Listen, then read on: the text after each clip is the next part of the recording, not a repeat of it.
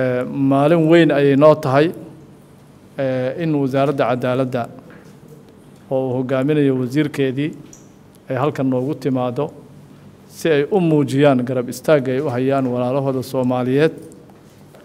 ee dhiiggooda la daadiyey ee ilmahooda la agoonteeyey ee xubnahooda la jarjaray ee cadow aanan naxaynin oo aanan diinta iyo dalka iyo dadka midna aanan u aabayeelaynin uu weerar bareera oo bahalnimo ah maalin cad oo duhurnimo ah uu ku soo qaaday. Marka waxaad tihiin hiil dadkiina ayaad u hiiliseen waxaad uga hiiliseen dayaca iyo dulmiga iyo dandarrada ayaad uga hiiliseen. Aada iyo aad baan idinkugu mahad celinaynaa haddii aan nahay guddiga howlahan ku howlanaa mudane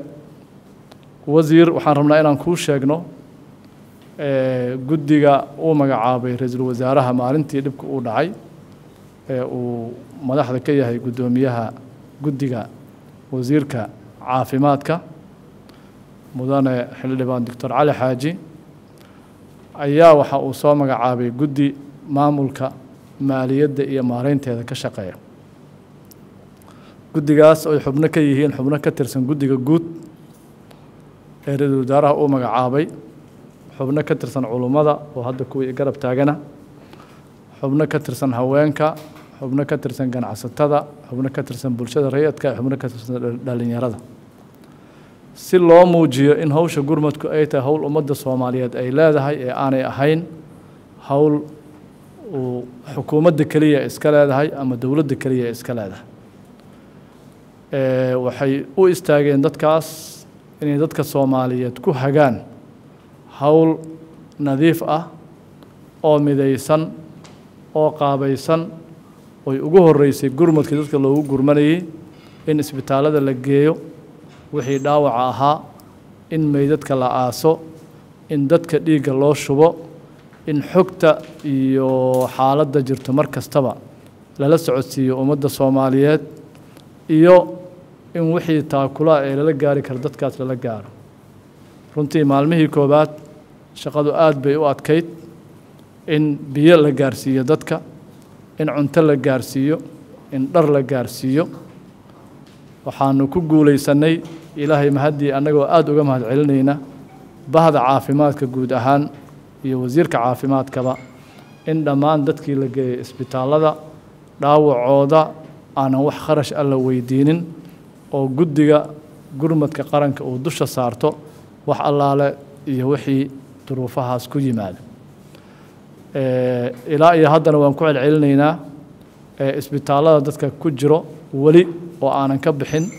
oo ilaa boqol iyo afartan qof maantana loogu sheegay inay yihiin weli waxa ay ku jiraan kafaalada guddiga gurmadka qaranka ayay ku jiraan. Wax hanti ah ama lacaga ama gaara oo iyaga laga doonayana ma jirto.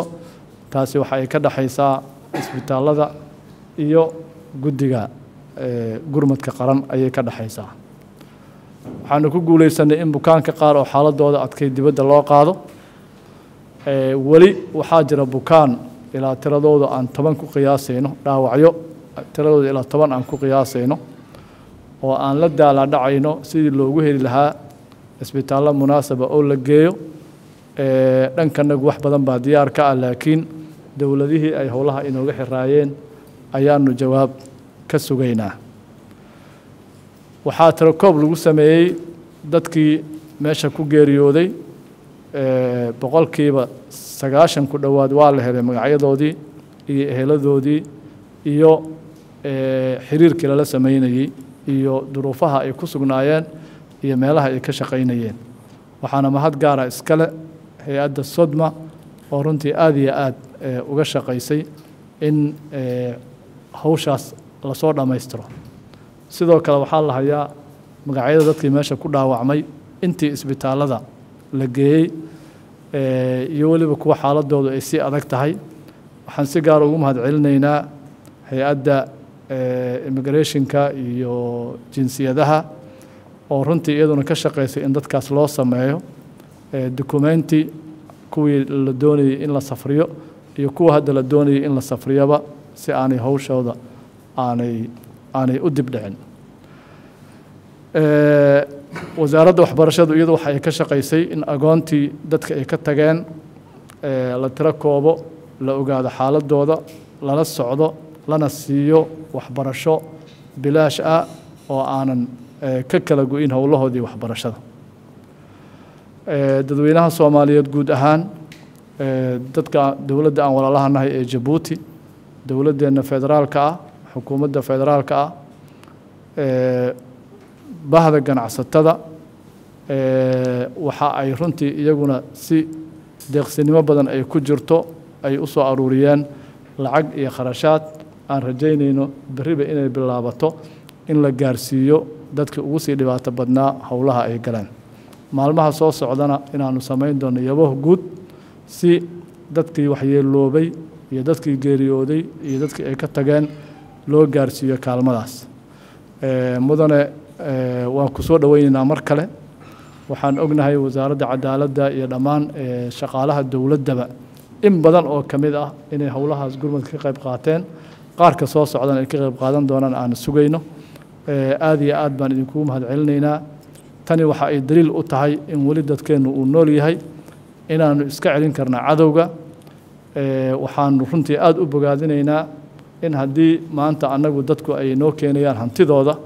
inay jiraan kuwo soomaaliyeed oo dhiiggooda bixinayo oo dhiiggooda shubaayo oo naftooda aanan soo noqonaynin u huraayo inay anagana difaacaan sharafteenna difaacaan karaamadeenna difaacaan diinteenna difaacaan dowladnimadeenna difaacaan waana midda keentay in cadowgu uu ku soo noqdo ardayda iyo dadka masaakiinta iyo berimageedada iyo gabdhaha ee agoonta korinayey ee hilbaha jidka ku gadayey in hilbahooda ay jidka waraan. Waxaan rajaynaynaa inaannu ku guulaysan doonno ummadda soomaaliyeedna ay ka guulaysan doonto in sha allah tacaala